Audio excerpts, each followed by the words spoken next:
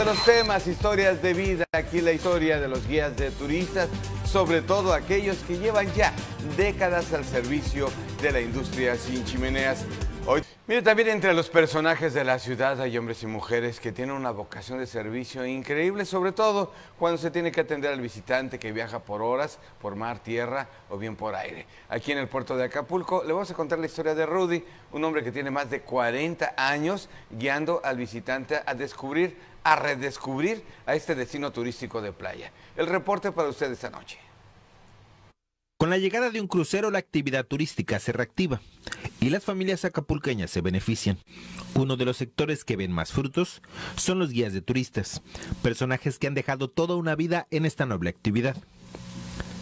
Uno de ellos es Rodolfo Rudy Fregoso, guía profesional desde hace 45 años, quien ha visto pasar la época dorada del turismo en este puerto y también la no tan buena del destino. El turismo es maravilloso, ¿no? Porque cada turista nos representa 11 empleos, imagínate tú. Siete empleos son indirectos y cuatro son directos. Esta es la parte buena del turismo.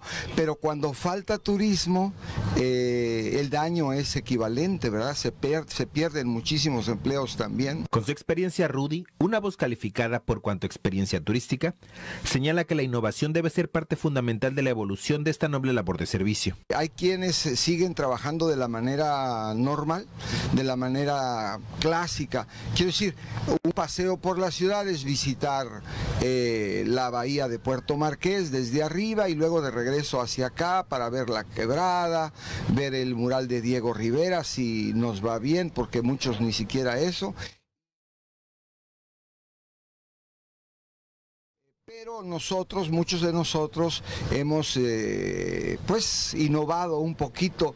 Eh, a mucha gente eh, no le gusta, ¿no? O por lo menos piensa que hacemos mal. Pero nosotros visitamos, por ejemplo, el mercado de la ciudad.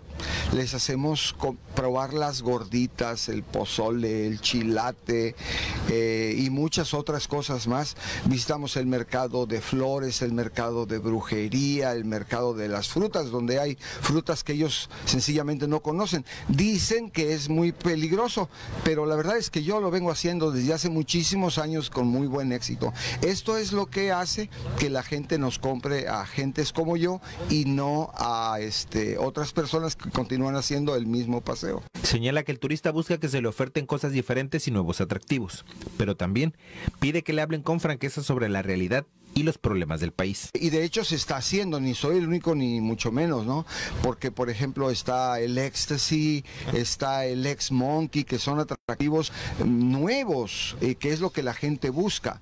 Eh, pero mucha gente piensa que mostrarle a los turistas cómo es que vivimos, cuál es nuestra realidad y hablarles de la, de la situación de seguridad que vivimos, pues no se debiera hacer. Pues yo, yo no pienso eso, ¿no?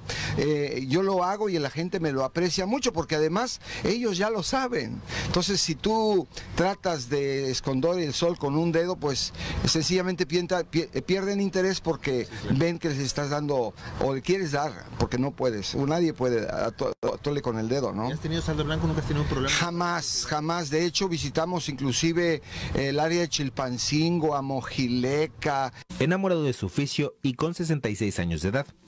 Estudio ofrece sus servicios vía internet y señala que a pesar que las ganancias no son como antes, no elegiría ningún otro trabajo. Toda una vida y, y, y, si no hubiera sido yo guía de turistas, estaría como loco buscando convertirme en uno porque me encanta mi trabajo. Israel Ricardi, Noticieros Televisa.